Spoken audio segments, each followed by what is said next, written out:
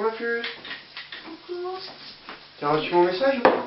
Non Il n'y a plus d'électricité? Ouais, c'est ça. Ah oui, c'est pour ça que j'ai croisé plein de gens d'EDF.